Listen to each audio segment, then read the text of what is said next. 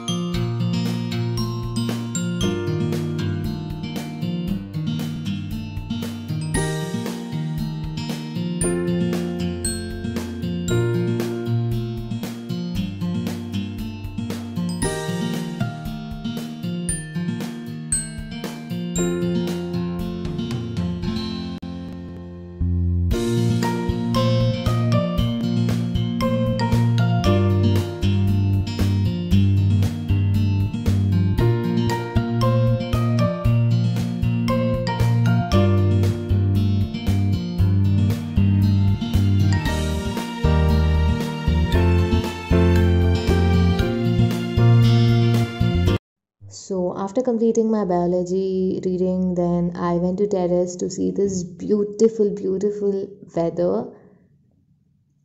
Don't you think it is cool? And i feel it as my masterpiece picture.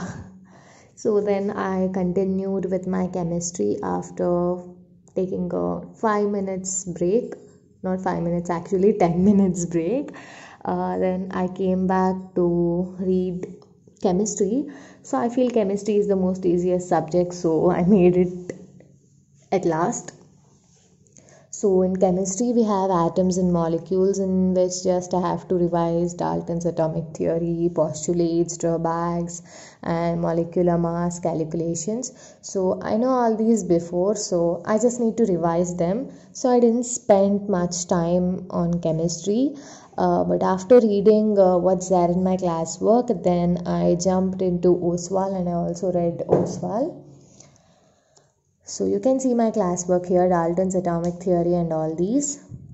So, and I also, uh, I gave uh, a read for 20 minutes exactly, I think. And then um, I made a sample question paper for myself, which is made by me. So uh, I made a sample question paper so i made it before itself and i also solved short questions before. And now uh, as i prepared for exam tomorrow is my exam and i would like to solve other questions also. So i started with solving my chemistry sample paper. I felt writing test is really really really helpful. You can try it too. Uh, i wrote physics test and uh, chemistry test believe me it is really helpful uh, mainly in subjects which we have calculations. In chemistry we have molecular mass. Though it was easy i would also like to write theory questions. So i managed it uh, i managed to write physics and chemistry test because both the questions were prepared before itself by me. So i prepared very well. And it was really helpful guys writing test and i also prepared from Oswaal so i think it's gonna help me for my exam.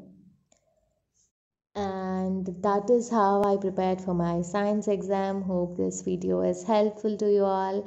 Thank you so much. I'll meet you with another interesting video